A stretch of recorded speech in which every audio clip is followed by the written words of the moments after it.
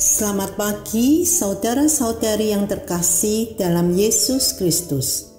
Selamat bertemu dalam sapaan dan renungan pagi GKI Salatiga.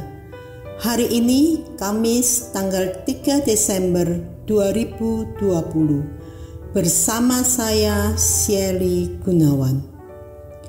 Untuk mengawali saran pagi ini, mari kita satu dalam doa.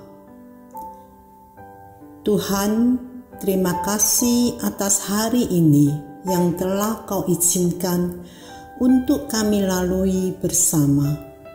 Atas kesehatan, damai sejahtera dan sukacitamu yang telah Kau anugerahkan kepada kami. Kalau sebentar lagi kami akan mendengarkan firman-Mu, beri kami hikmat ya Bapa sehingga kami bisa mengerti seperti yang kau kehendaki.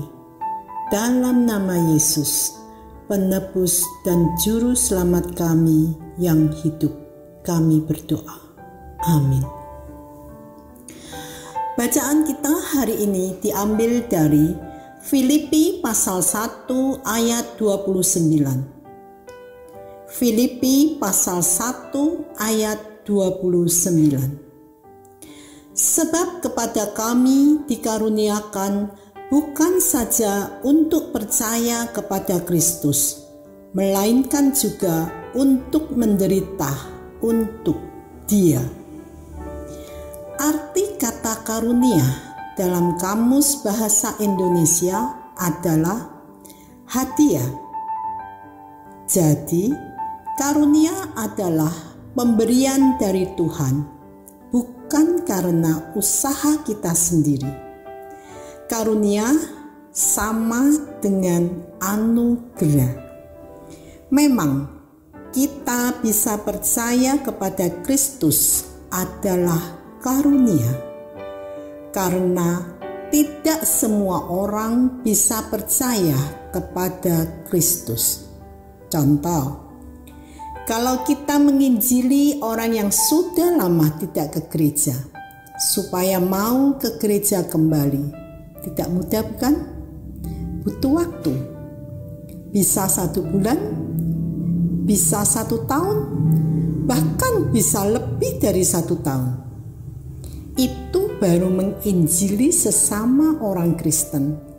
Apalagi menginjili orang yang bukan Kristen tetapi kalau Tuhan mengkaruniakan kepada kita untuk percaya kepadanya tanpa diinjili pun dia akan tergerak untuk ke gereja dengan sendirinya. Kenapa kok bisa begitu? Karena Roh Kudus yang menggerakkan hatinya untuk mendekat ke rumah Tuhan. Kenapa di Filipi 1 ayat 29 dikatakan kalau menderita untuk Kristus juga karunia? Selama ini yang saya tahu, menderita untuk Kristus adalah ujian.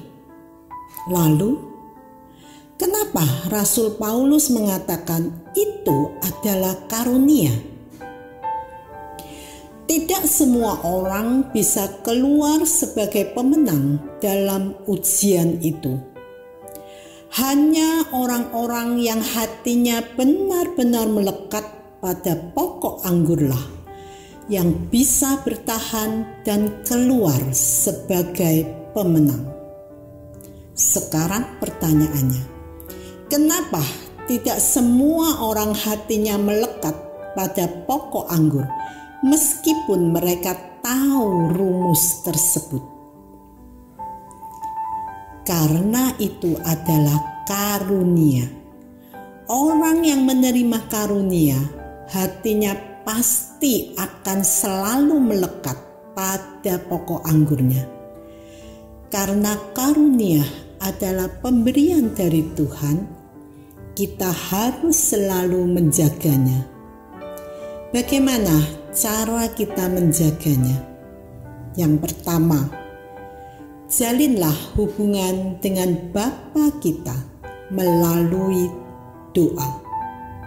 Yang kedua, bacalah kitab suci dan lakukanlah.